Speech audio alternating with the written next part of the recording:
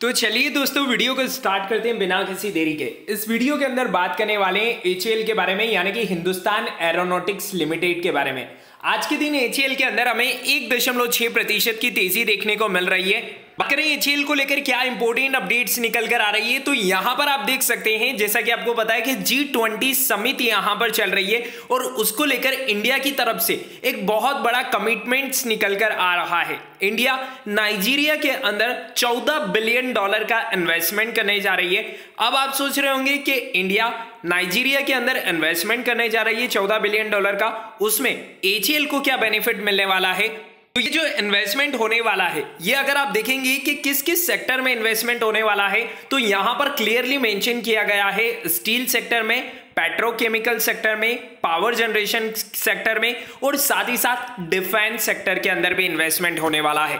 अब अगर हम डिफेंस सेक्टर को यहाँ पर बाइफरकेट करें तो यहाँ पर आप क्लियरली देख पाएँगे कि नाइजीरिया के अंदर जो 14 बिलियन डॉलर का इन्वेस्टमेंट यहाँ पर इंडिया करने वाला है, उसमें एक बिलियन डॉलर का इन्वेस्टमेंट सिर्फ़ डिफेंस इंडस्ट्री के अंदर करने वाला है। और यहीं पर सारा खेल हमें देखने को मिल रहा है।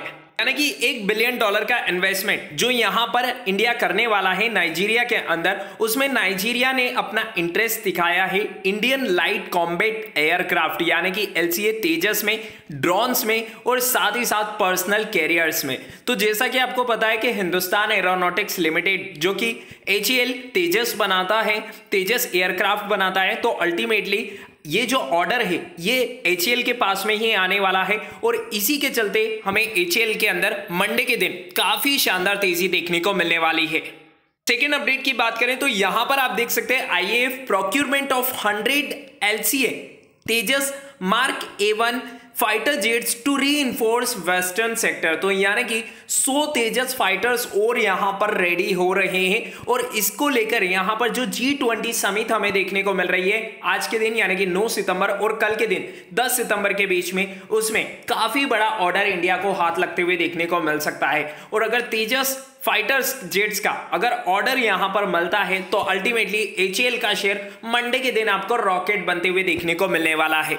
साथ ही साथ एचएल को लेकर एक और बड़ी अपडेट निकल कर आ रही है, जहाँ पर एचएल जेन टेक्नोलॉजी और बेल दोनों के अंदर एफआईआई ने अपने स्टेक को काफ़ी हद तक इंक्रीज कर दिया है। अगर आप देखेंगे तो फाइनेंशियल ईयर 2023 के अंदर क्वार्टर वन में एचएल के अंदर एफआईआई ने अपने स्टेक को 8.58 परसेंट से बढ़ाकर 11.02 परसेंट कर दिया है। यानी कि अप्रैल टू जून क्वार्टर के अंदर एफआईआई का स्टेक ऑलमोस्ट हमें तीन प्रतिशत से इंक्रीज होते हुए देखने को मिल रहा है। और ये तीन प्रतिशत का नंबर बिल्कुल भी स्मॉल नहीं है। यहाँ पर करोड़ों शेयर्स खरीदे गए हैं।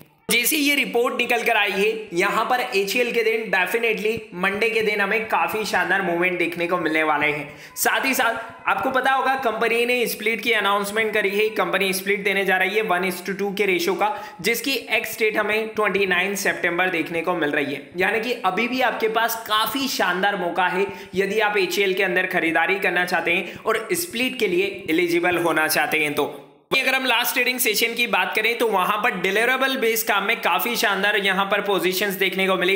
टोटल चौदह लाख सैतालीस हज़ार क्वांटिटी हमें लास्ट ट्रेडिंग सेशन में ट्रेड होते हुए देखने को मिली और उसके सामने तीन लाख नब्बे हज़ार क्वांटिटी डिलीवरेबल बेस पर उठाई गई है। यानी कि ऑलमोस्ट सत्ताईस प्रतिशत क्वांटिटी हमें डिलीवरेबल बेस पर ट्रेड होते हुए देखने को मिल रही है। यदि आपने एचएल के अंदर खरीदारी कर रखी है तो यहाँ पर आप अपनी पोजीशंस को होल्ड करते हुए चल सकते हैं। पिछले एक साल में कंपनी 60 प्रतिशत से भी ज़्यादा के रिटर्न्स अपने इन्वेस्टर्स को बनाकर दे चुकी है। और इस शेयर्स के जो टारगेट है, वो नियर टर्म में अराउंड तिरयालीस रुपए तक के निकल कर आ रहे हैं।